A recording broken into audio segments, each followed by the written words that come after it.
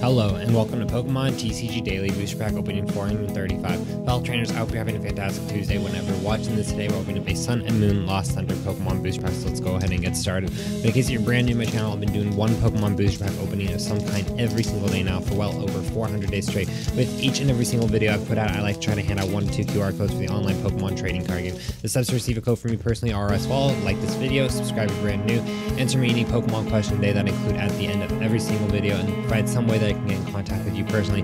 Fellow trainers, today's video is even getting out later than usual because the past 24 hours I just came down with a really like uh, I've just been really sick the past like 24 hours, but I'm feeling better. But I definitely will not be getting codes out and stuff till at least this weekend at the earliest. With all that, let's go ahead and see what we got in the content of today's Pokemon Booster Pack. We kick things off with a Water type energy. Doesn't look like we got something kind of cool in, in today's poll.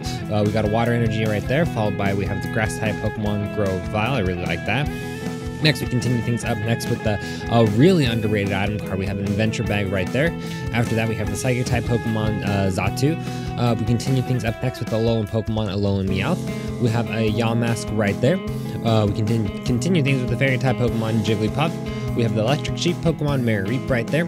We have adorable looking Alolan Vulpix. We have next we have our reverse holo for booster pack is a reverse holo Unown. This is actually really cool. I think is this the Unown that got banned? I think this is uh, our last contest pokemon booster pack is a tyranitar gx not a bad way to uh, continue the week. Fellow trainers to be perfectly honest i don't really have anything planned for today's question today like i said i'm just kind of getting today's video out here um, just because right now i'm sick and stuff but i still really want to do another pokemon booster pack opening. So fellow trainers i hope you're having a great day whenever you're watching this. Let me know if you have any recommendations for questions today. I'm going to go ahead and go get some more rest, and I will see you tomorrow as always, fellow trainers.